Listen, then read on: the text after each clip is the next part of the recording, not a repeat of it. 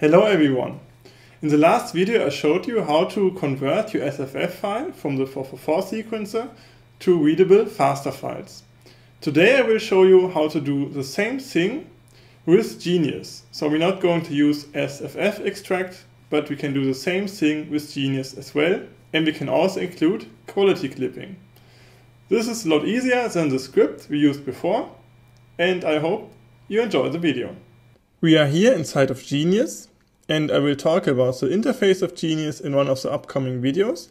For now, we're just going to focus on how to import the SFF file into Geneious. To do that, you have to locate your file on the computer. We have our SFF file here, and we drag and drop it into Geneious.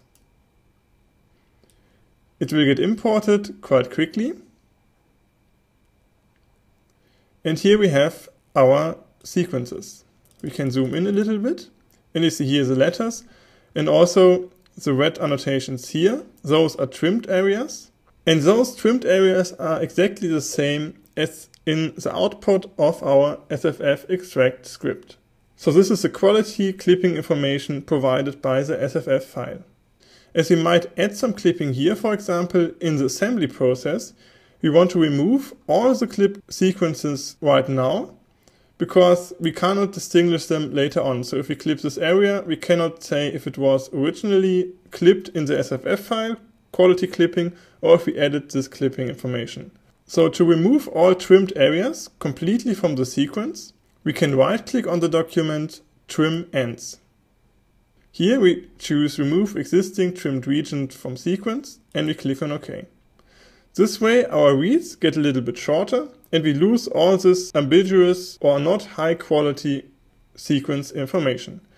We can then click on save and now we have a quality clipped 454 dataset.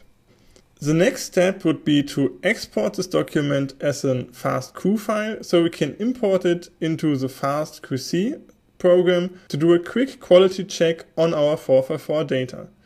To do that, we're going to select the file. We go on File, Export, Selected Documents.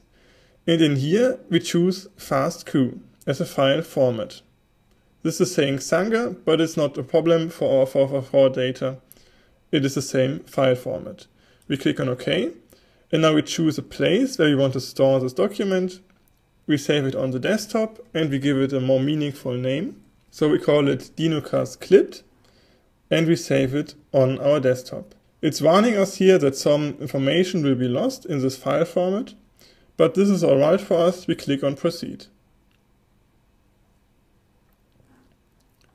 Now we have here our FastQ file and we can import this into FastQC for quality checking. We will do this in the next video.